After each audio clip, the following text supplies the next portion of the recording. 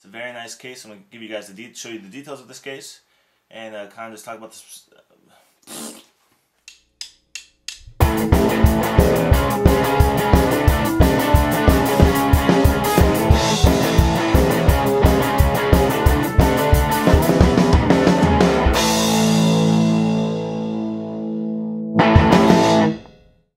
Hello and welcome to another video review brought to you by BuyMeAnIPhone.com.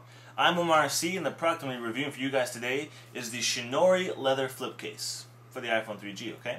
So I'm going to show you guys the close-ups of this case and the details, and we're going to do that on the other camera right now. Alright guys, so here is the packaging that the uh, leather flip case comes in. Pretty nice box. As you can see there has a, the neck the neck wrap and the wrist wrap. There's a little, the other little leather uh, hook piece in there. Let's pop this open and show you what comes inside. So obviously we have the, the case right there. Okay. And then those other, those other things I showed you in the back already. So not going to mess with those. Put this to the side. So inside the case you will receive a, a screen protector and a cleaning cloth. And the uh, little uh, the hook. The middle hook that you use to connect those uh, the wristband and the, the, the neck strap to and I got the uh, chrome version of it, but you can get a different one like that. So there's the uh, cleaning cloth and the, screen protector. Pretty decent, pretty nice. It's always nice when case companies slip that in there. So let's put that to the side. So let me go and show you the close-ups of this this case, this product. It is pretty nice. Leather work is real good. It definitely smells like real leather. See the close-up, see the stitching.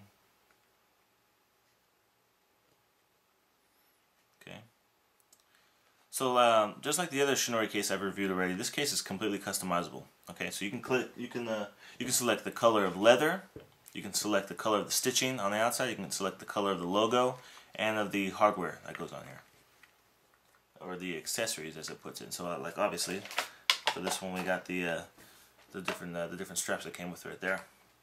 Okay, so let's go ahead and pop in the iPhone. Show you how it all looks.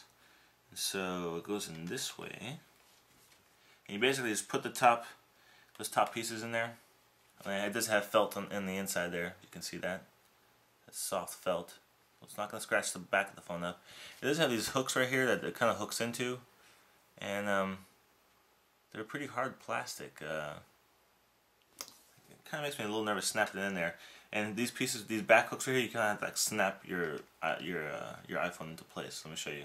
Kind of like pops in there. So I'm not sure if you do that all the time, if it would start to scratch the beveled edge there of the plastic, but eh, it's not that big of a deal. But I know some of you guys are really like uh, hardcore when it comes to scratching up your iPhone. So so that's that. Let's close up the case. Let me show you just how it looks. Everything looks when it's uh, closed up. So we got the standby switch, the headphone jack, really easy to get to doesn't it's a nice big opening for the headphone in case you have bigger headphones. Should be no problem. Now the uh, the side switches are kind of covered up there. You can see them but you can't really get to them because the opening is so small. You can probably mess with the volume if you needed to but you won't be able to see it. So obviously you'd probably pop this off to see what the volume is setting is at.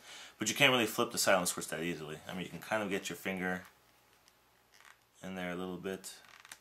There you go. So I mean you would probably end up just popping it open to do that not a big deal, but just something that you know I want to point out. The whole bottom section is closed up, so you do have to open this up to, to uh, dock it or connect it to charge it up. And it does have the slits in there, so you can't hear if the ringer is ringing for the uh, speaker. And on the back side, we do have the camera hole is pretty good, it lines up fine.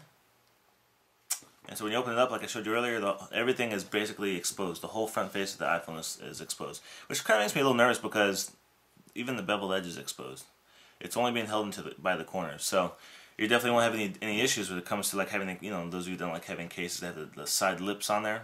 It's basically there's nothing there on the sides at all. It's just being pinched in there on the on the corners.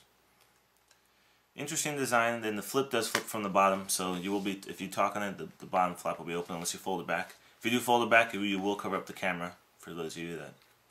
I don't know. Some people make a big deal about that. You just have to hold it like this, and it does have that little hook right here, which I showed you earlier. That's, this is what you hook on the uh, the wrist strap, the neck strap, or if you just want to use the hook and maybe hook it to your purse or your belt loop, I guess you could do that too if you want to use the, uh, the included uh, little accessory hook right there. Okay.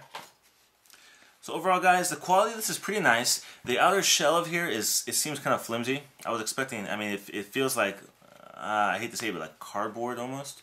It's real flimsy and thin. There's not, it's not plastic, definitely not plastic in there. It feels like hardcore, like, um, like, eh, like cardboard, I guess.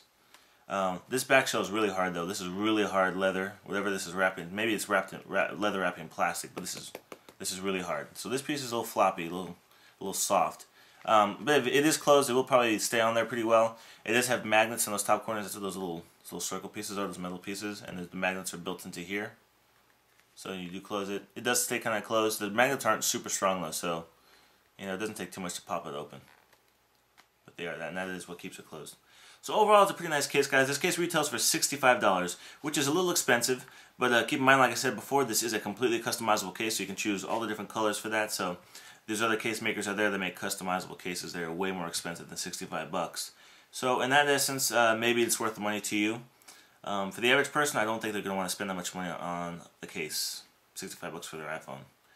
But that's just me. That's me talking and me guessing. So you guys let me know what you think. If you uh, if you actually own the Shinnorie leather flip case, go ahead and post a comment on YouTube or on buymeaniphone.com. Let me know, uh, let me and everybody else know what you think about this case. And since you've been using it longer than I have, probably give us your two cents. Okay.